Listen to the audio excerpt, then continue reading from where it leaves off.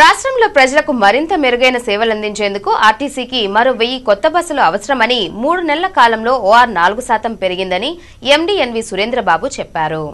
చిత్తూరు జిల్లా పర్యటనకు విచ్చేసిన ఆయన సోమవారం తిరుపతి ఆర్టీసీ ఆవరణలోని రీజనల్ మేనేజర్ కార్యాలయంలో అన్ని డిపోల మేనేజర్లు పరిపాలనా సిబ్బందితో సమావేశమయ్యారు.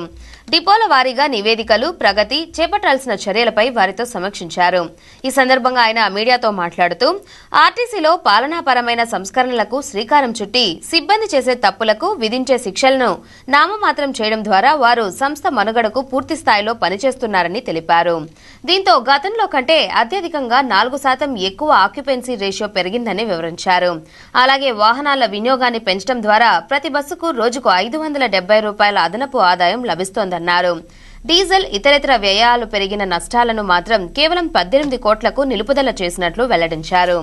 తిరుపతి తిరుమల మధ్య నడిచేందుకు ప్రయోగాత్మకంగా ఎనభై ఎలక్ట్రికల్ ఏసీ బస్సులను కొనుగోలు చేసేందుకు నిర్ణయం తీసుకున్నట్లు పేర్కొన్నారు. భవిష్యత్తులో ఆర్టీసీ ఎలక్ట్రికల్ బస్సుల వినియోగాన్ని పెంచుకునే దిశగా చర్యలు చేపడుతోందన్నారు. కొత్త బస్సుల కొనుగోలుకు ఆరు వందల అరవై కోట్ల రూపాయల నిధులు కేటాయించాల్సిందిగా ప్రభుత్వానికి ప్రతిపాదనలు పంపినట్లు వివరించారు. ఈ కార్యక్రమంలో ఆర్టీసీ అధికారులు చెంగల్ రెడ్డి జయరావు రామకృష్ణ జీవరావు తదితరులు పాల్గొన్నారు. నాన్ ట్రాఫిక్ రెవెన్యూ ఇంప్రూవ్మెంట్ పైన కూడా మేము ఫోకస్ చేయడం జరిగింది. Commercial revenue last year corporation మొత్తానికి ఫార్టీ త్రీ క్రోర్స్ ఉంటే ఈ సంవత్సరం సెవెంటీ ఫైవ్ క్రోర్స్ మేము మార్చి ఎండ్కి రీచ్ అవుతాం అనుకుంటున్నాం. దాంట్లో కూడా సుమారుగా seventy percent growth rate corporation స్థాయిలో సాధ్యమైంది. కమర్షియల్ వింగ్లో పనిచేసినటువంటి అందరి యొక్క కమిట్మెంట్ వల్ల అది సాధ్యమైంది.